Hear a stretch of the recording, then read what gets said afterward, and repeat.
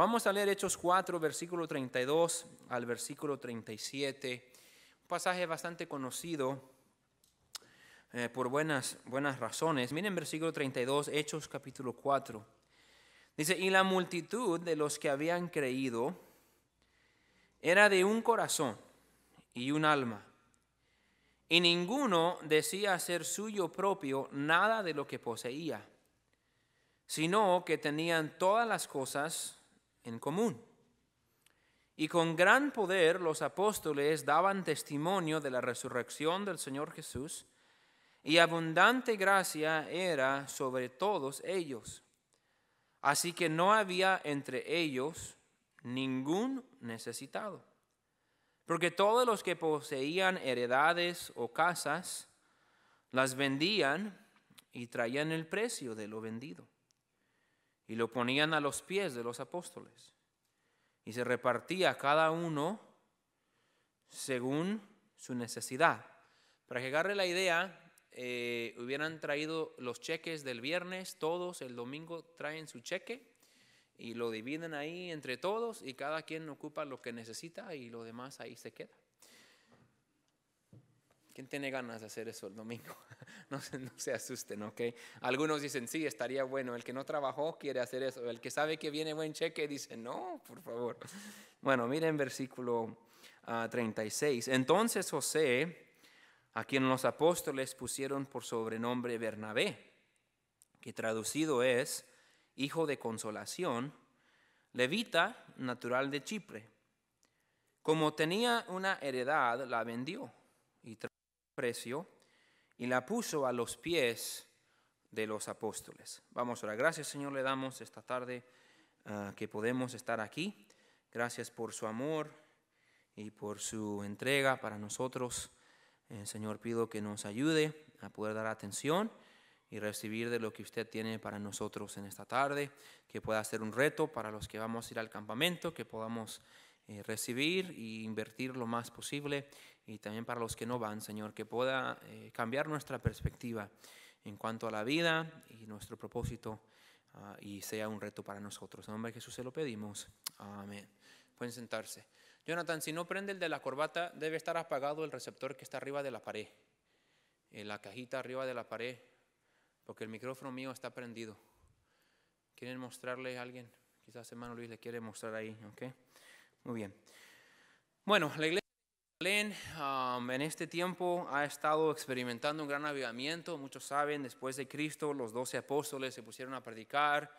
Uh, el día de Pentecostés, ahí en Hechos capítulo 2, habían aceptado a Cristo tres mil personas. Después en Hechos capítulo 4, entró el cojo en el templo y ahí le pidió dinero a, a, Pedro y a Juan y ellos lo sanaron y él entró corriendo en el templo y como resultado la gente se maravillaba y miraba y otra vez Pedro predicó y cinco mil personas aceptaron a Cristo ese día y realmente ahora la iglesia está experimentando gran crecimiento y está mucha gente llegando a los pies de Cristo, mucha gente bautizándose uh, de los judíos, la iglesia está creciendo. Sería un tiempo específico para que hubieran muchos problemas Mucha gente que no se conocía, que nunca habían estado juntos, apenas han aceptado a Cristo. Cada uno trae sus mañas y su cultura, y cada uno trae sus costumbres y sus hábitos y sus maneras de pensar. Pensaríamos que como resultado de tener tanta gente y tanto crecimiento tan rápido y tener tantos cristianos nuevos en la iglesia de Jerusalén, nos haría pensar que se estarían llevando mal pero lo que nos dice estos versículos es que estaban unidos, que había un espíritu de compartimiento, había un espíritu de edificación, había un espíritu de unidad y lo leímos en versículo 32 donde dice que todos los que habían creído estaban de un corazón y de un alma. Ellos literalmente estaban tratando de llevarse y de invertir, escúchame bien, de invertir cada uno en la vida de los demás. Ahora, esto no es casualidad porque en Juan 17, versículo 21, Cristo había orado por esto. Cristo oró al Padre en Juan 17, 21 y dice lo siguiente, dice, para que todos sean uno, como tú, oh Padre, en mí y yo en ti, que también ellos sean uno en nosotros, para que el mundo crea que tú me enviaste. Cristo pidió a Dios en oración de que Él ayudara a que sus discípulos y que sus seguidores trabajaran juntos como un solo cuerpo. Dijo, así, así Padre, como tú y yo somos uno y, creemos igual y pensamos igual y tenemos la misma pasión y el mismo amor y las mismas metas. Eh, él oró, Padre, que nuestros discípulos, que mis discípulos sean también así unidos. Entonces, en esta primera iglesia, en los versículos que leímos, se estaba cumpliendo la oración de Cristo. Eran de un corazón y de un alma, nos dice versículo 32. Dice versículo 32 que ninguno decía ser suyo propio nada de lo que poseía, sino que compartían y, daban, como miramos en, los últimos versículos, que hasta estaban vendiendo sus propiedades para traerlo, para compartir con los demás nos muestra de que estaban preocupados por ministrar el uno al otro. Miren versículo 24, 34, perdón. Dice así que no había entre ellos ningún necesitado, porque todos los que poseían heredades o casas las vendían y tenían el precio de lo y traían el precio de lo vendido Ahora, esto no es eh, un cuento de hadas, esto no es algo que nada más están hablando de que quizás había sucedido, esto es algo real. Ahora, así como usted y yo batallamos y queremos mucho las cosas que tenemos y queremos proteger nuestro carro o nuestras inversiones o queremos salir un poquito más adelante financieramente, esta gente hubiera querido lo mismo.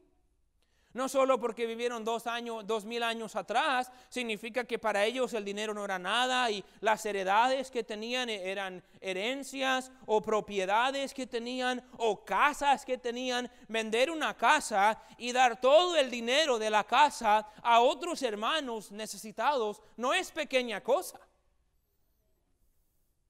ni en nuestro tiempo, ni en cualquier tiempo. Y pueden respirar bien, ¿no? Ni siquiera vamos a hablar de las finanzas esta noche, pero miramos que cuando una persona, aún recién convertida a Cristo, aún personas que no tienen mucho en el Evangelio, cuando ellos entregan su corazón a Dios y aman a Dios y a la obra de Dios y aman a los hermanos como deben de amar, no hay límite de lo que ellos están dispuestos a hacer para el bien de los demás.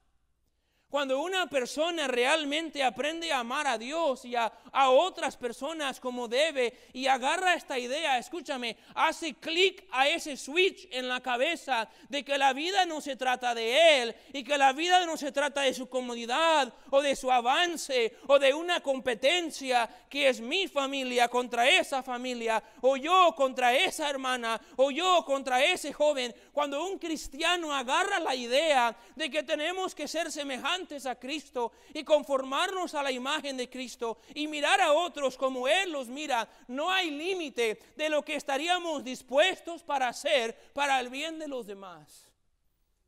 Y lo vemos aquí en el pasaje.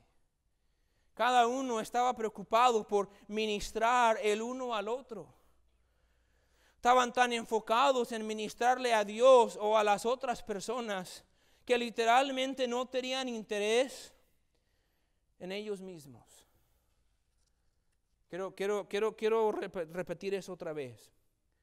Estaban tan enfocados en ministrar a Dios y a los demás que no tenían ningún interés en ellos mismos. Hasta estaban vendiendo sus propias cosas y trayéndolo a los pies de los apóstoles para que ellos dieran a los que necesitaban nos da un ejemplo específico en versículo 36. Mírenlo conmigo y rápido vamos a llegar a la aplicación. Pero dice entonces José, a quien los apóstoles pusieron Bernabé, que traducido es hijo de consolación, nos dice que era un levita, era de Chipre. Tenía una heredad, la vendió, trajo el precio y la puso a los pies de los apóstoles. Ahora, si, si ya había dicho eso de los demás, ¿por qué hace el tiempo de señalar específicamente a este hombre José? Bueno, dos razones. Por, una razón es porque este hombre José, llamado Bernabé, llegó a ser el compañero de Pablo en Hechos capítulo 13. Es el mismo. Lo conocemos como Bernabé. empieza a mostrar desde aquí el corazón que Bernabé tenía. También el hecho de que lo señalaron a él a propósito por nombre muestra que muy probable la cantidad era grande. Muy probable la heredad que vendía era algo muy notable. Era una, una cantidad que, que, se quedaron asombradas de que este hombre Bernabé hubiera vendido su propiedad y hubiera traído todo. No sabemos lo que pasa como resultado de eso. En capítulo 5 es cuando Ananías y Zafira dicen, ok, pues todos le están dando la atención a Bernabé porque vendió esto, pues nosotros también vamos a vender una propiedad, pero vamos a decir que dimos todo, pero solo vamos a dar una parte. Y Dios tomó ofensa a eso y Dios los mató ahí en la presencia de, la, de, toda la iglesia por haber mentido, porque ellos estaban tratando de fingir que tenían interés en los demás, cuando verdaderamente lo único que querían era engrandecer su propio nombre. Entonces Dios a ellos los mató. Estaban fingiendo interés que no había.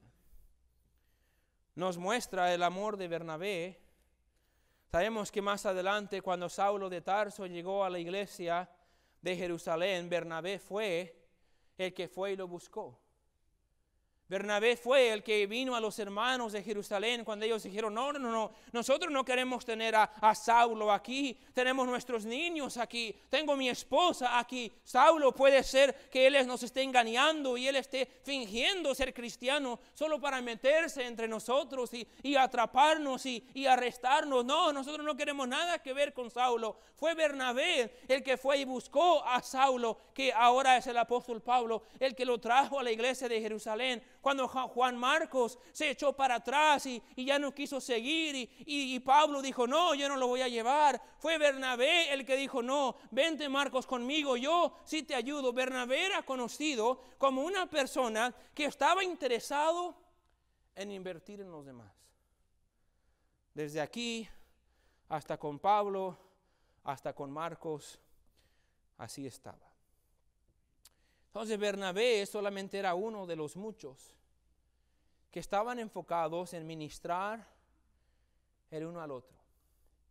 Ellos en su poco tiempo de haber sido salvos, habían sido edificados suficientemente por la palabra de Dios y por el Espíritu Santo, que habían desarrollado entre ellos un espíritu de unidad, de edificación y de compartimiento. Somos uno. Vamos a edificar el uno al otro. Voy a compartir las bendiciones de Dios para conmigo, con aquel que lo necesita. Podemos decirlo así, lo he dicho muchas veces, era la iglesia casi perfecta por el espíritu que tuvieron. Lo que quiero enfocarme por un momentito, hermanos, aquí esta noche, es preguntarle si usted tiene ese espíritu. Espíritu de unidad espíritu de compartimiento, el espíritu de edificación. Vamos a pasar unos días donde vamos a estar muy juntos. Normalmente no estamos tan juntos. Estamos aquí, todos andamos vestidos, peinados, cepillados de los dientes, educados. Estamos en la iglesia, estamos en nuestra mejor, nuestro mejor comportamiento. ¿Verdad que sí?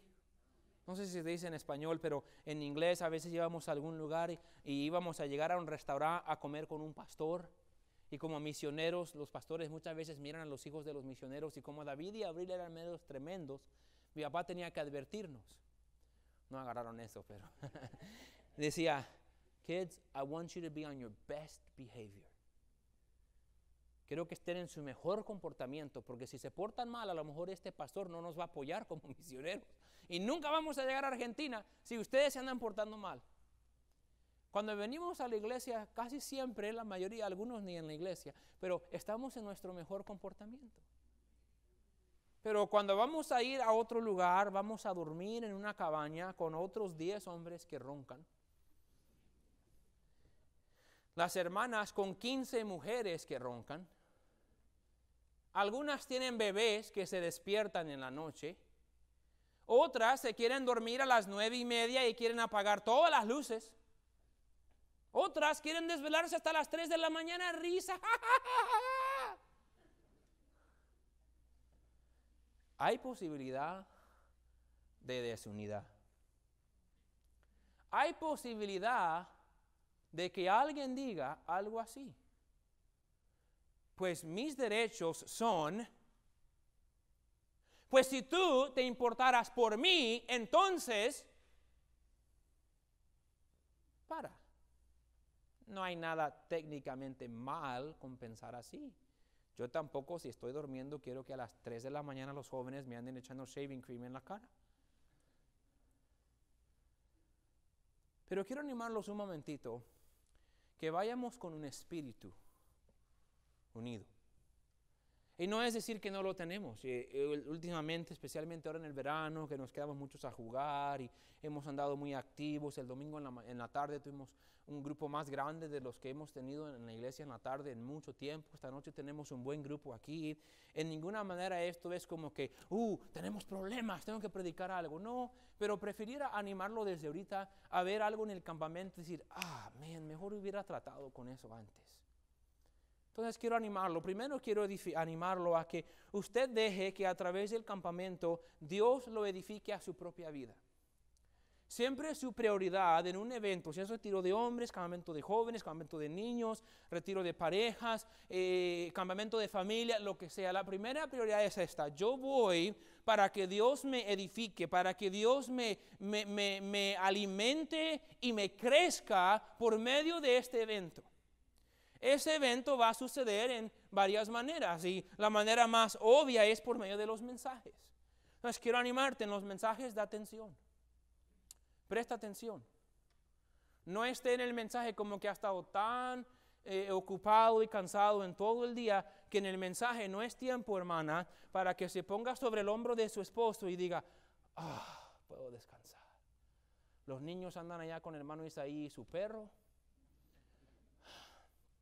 aquí en este auditorio está bien fresco. Al rato quiero ir a jugar volei, comerme unos nachos y un elote. En la tarde me metí en la alberca y me duele todo. Ahora que estamos en el mensaje. Ah, qué bueno que mi esposo se puso más gordito porque ya el hombro está más cómodo. Quizás no va a sacar mayor provecho del campamento. De atención. Quizás en algún momento el pastor diga algo que no le parezca. No por eso lo apague.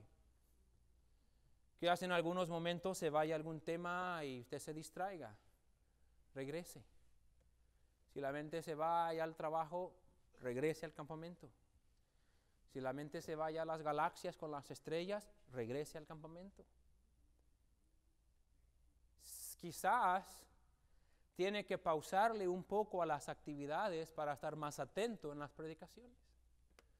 Yo antes cuando iba a los campamentos, cuando era joven, aun cuando Isela, Giovanna, Juanito, Omar, muchos de ellos eran jovencitos, iba a los campamentos allá en Cañón, Texas, con el pastor Rodríguez y toda la semana andaba jugando fútbol en el calor, andaba en las noches con los muchachos, andaba manejando el camión en, el calor y, y me la pasaba bien y andaba bien despierto. Los primeros campamentos de familia también allá, yo andaba en todo yo ahora entiendo que porque estoy más viejo, ya no tengo esa energía. Yo ahora si ando haciendo eso a la hora del mensaje, yo voy a andar. Entonces contrólese en la noche, duérmese a una, una hora decente, porque el propósito es de que usted esté atento para la palabra de Dios. Es bueno disfrutar todas las actividades, pero no vamos para eso. Vamos para aprender, ore que Dios te cambie, dé atención a los mensajes de los cantos especiales, aún en los cantos especiales Dios puede usar eso para edificarlo y para retarlo. Pero después, sobre todo también quiero animarle que usted se asegure de tener un espíritu que pueda ser de ayuda y de edificación para los demás. En las actividades participe. Si puede, participe. Yo sé que no todos quieren jugar fútbol o básquetbol o voleibol, pero lo más que pueda, no sea esa persona que nomás está ahí todo el día así. Hay niños así en el campamento de niños. ¡Eh, vamos a ir a corretear a los marranos! No me gusta. Vamos allá a jugar eso. No quiero. Vamos allá a correr. Tengo calor. ¿Cuándo se abre la tiendita? No. Disfrute la vida. Disfrute el campamento. Vaya a conocer a alguien que no conoce. Vaya a echarle porras a los hermanos que todavía no les duele la espalda y sí pueden jugar. Vaya, participe, apoye. Vamos a meterlos a todos en un equipo. El equipo que le toque, póngase en ese equipo. Que desde usted les anuncio, van a haber cuatro equipos, azul, verde, rojo y anaranjado. Vamos a dividirlos a todos. Ni siquiera va a estar en el equipo con su familia. Ay, lo siento, campamento de familia, andamos dividiendo familias. Pero queremos que estén más o menos parejos, no se van a parar todos los hombres, le vamos a dar un color. Y luego todos los jóvenes y darle un color. Y todas las mujeres le vamos a dar un color. El color que le toque esté en ese equipo. Pero a mí me gusta ese equipo. ¿Qué importa? Participe en ese equipo. ¿Sí? Pero el muchacho que me gusta está en el azul y la muchacha que anda atrás de él está en el azul y a mí me tocó en el verde. Está fuerte eso. Aguántese. Aguántese. Apoye. El hermano Venancio, el hermano Smerky, el hermano Velasco y el hermano Jesse de Tulsa van a estar encargados de un equipo. Apoya a su equipo. Esté ahí apoyando. En los dormitorios respete a los demás. Asegúrese que su hijo, sus hijos respeten a los demás. Siempre pasa esto. En los dormitorios de las mujeres no sé, pero en los hombres están esos hombres que entran a las 9 de la noche y están. Y sus hijos andan allá a la una de la mañana haciendo quién sabe qué, y ellos ya andan en el tercer sueño. No haga eso. Si usted se duerme es porque su hijo está bien responsable o alguien está a cargo de él. No vaya a dormirse y dejar a sus hijos allá al cuidado de que quién sabe cuándo y al rato los andamos pescando allá del río. Cuídelos. Asegúrese que no anden haciendo tiradero en el dormitorio. Que cierren la puerta porque con el aire acondicionado se pone caliente si el niño sale y deja la puerta abierta. Si está ahí parado enfrente de la puerta tapando la puerta por 20 minutos mientras su amigo sale del baño. Cuide eso que guarden sus cosas, que respeten a los demás, que no se levanten muy, muy temprano haciendo ruido, que no se acuesten muy tarde haciendo ruido. Si el pastor o el líder dice, ya apagamos las luces, nadie habla y su hijo esté hablando, usted lo regaña. O su hija. ¿Sí están conmigo todavía? Ok. En los servicios apoye con los cantos, cuando alguien canta, dígame. Si se aplaude, aplaudan. Cuando el predicador está enseñando, predicando, dígame esté enchufado en las sesiones, esté ahí, llegue a tiempo a las actividades. Le vamos a dar un librito que tiene un schedule atrás. Vamos a colgar schedules en todas partes del campamento para que usted sepa a qué hora es la alberca, a qué hora es el deporte, a qué hora es la comida, a qué hora es el servicio y esté a tiempo. Y asegúrese que su familia esté a tiempo. Si son sus niñas, hermana, o sus niños, hermano, asegúrese que esté así. En la fila de la comida va a tardar un poquito de tiempo. Vamos a tener 280 personas más o menos ahí. No van a pasar todos así de repente. Un día va a comer este equipo primero y luego este equipo. Cuando le toque este equipo, vaya. Si le toca esperar en la fila por 15 minutos, no diga, oh, esperar en la fila, y luego, ni, siquiera nos dan esto. Ya de una vez le aviso, la comida no va a ser como el buffet chino. Es campamento. ¿Sabe por qué son conocidos los campamentos? Por meter comida de perro en la comida sin que nadie se dé cuenta. No, no es mentira. Pero no va a ser la comida más buena del mundo. ¿Quieren saber qué vamos a comer? Mañana en la tarde vamos a comer chicken tenders con mac and cheese. El viernes en la mañana van a dar scrambled eggs con biscuits and gravy. Con, un, con cereales, yogur y algo más que no me acuerdo. Todos los servicios va a haber un salad bar. A lo mejor cuando usted llegue al salad bar no hay algo que a usted le guste. Yo no quiero ensalada sin tomates. Si yo llego al salad bar y no hay tomates, yo no como ensalada. Porque no me gusta la ensalada sin tomates, es como comer una torta sin pan. Pero está bien, si así me toca, pues así me tocó, no me voy a morir. Usted tampoco. El viernes al mediodía vamos a comer pizza con tater tots. En la tarde vamos a comer chicken alfredo. Sábado en la mañana vamos a comer cereales otra vez. Va a estar bueno. Va a haber una tiendita donde va a haber nachos y elote y pretzels y hot dogs. Va a estar divertido, pero aguante con buena actitud. No se queje de nada. No se queje. No todo va a estar perfecto. Pero acéptelo y participe. Busque a alguien que necesita amistad. Sea ayuda para alguien. Cuando ve a alguien que está allá solo, vaya acércase. Ve un hermano o una hermana de una iglesia que es un poco callada y usted anda ahí anda en la bola, vaya invítela a la bola. O vaya y diga, hey, ¿cómo está? No la conozco, soy la hermana María de Oklahoma City, ¿de dónde es usted? No, pues, ay, qué bueno, ¿y usted es mexicana? No, de Guatemala. Ah, pues qué bendición. Y ahí se platica antes que de dónde pasaron 20 minutos. A lo mejor hasta le compran algo en la tiendita. A lo mejor hasta sale ganando. Busque a alguien que lo necesite. Hay un niño que va, anda atrás de usted y anda contando las monedas y no sabe si tiene para la raspa. Págale la raspa. Haga algo así. No va a pasar nada malo. Acérquese con los hermanos de nuestra iglesia que no conoce. Hay varias familias que son más o menos nuevas que van a estar yendo. Conózcala. Sea una oportunidad de comenzar una, una amistad nueva. Trate de conocer hermanos de otras iglesias. Trate de ser de bendición a los demás pastores. Va a venir el pastor Rodríguez, es el primer evento que van a ir desde que falleció su segunda hija de cáncer. ¿Sabe qué necesita el hermano Rodríguez y la hermana? Ánimo. ¿Sabe lo que no necesitan? Que estén ahí todos quejándose o ignorándolos o tratando como nada o teniendo miedo de platicarles. Hay otros pastores ahí, nosotros, gracias a Dios, Estamos acostumbrados domingos en la mañana, en la tarde, miércoles, actividades. Siempre hay un buen grupo aquí, siempre hay otros jóvenes, siempre otras hermanas, siempre tenemos muchas cosas pasando. Hay mucha actividad en nuestra iglesia. Van a venir algunos que el miércoles en la tarde, cuando llegan a su iglesia, son ellos y dos familias más. Ellos no están acostumbrados a siempre tener cosas pasando. Tener una iglesia grande y tener gente y tener otros jóvenes. En el campamento usted puede ser de gran ayuda para ellos. Pero tiene que ir pensando que yo voy al campamento para hacer de ayuda, no solamente para ver si me va bien. Si tiene niños en la guardería, trate de ayudar. Es un anuncio que se me olvidó. Tenemos una lista atrás para que se anote para ayudar con guardería o para ayudar con las clases de los niños. El hermano Isaí va a estar haciendo la clase. A mi hermana le va a estar ayudando bastante, pero ocupamos ayudantes. No queremos que las mismas personas estén siempre ahí.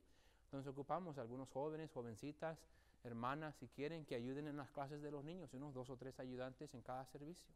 En la guardería, alguien tiene que cuidar a los niños para que los demás escuchen predicación. Ay, no, yo no voy al campamento para cuidar niños. Pero usted lleva cuatro niños, pues alguien tiene que cuidar los suyos, entonces usted puede quizás pensar, ok, pues también yo voy a cuidar a los niños una vez. ¿Se están siguiendo?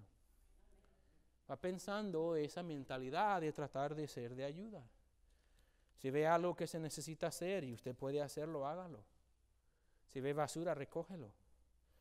Si está vacío el agua, no vaya a quejarse, vaya a ver cómo usted la puede llenar. Cambio de mentalidad.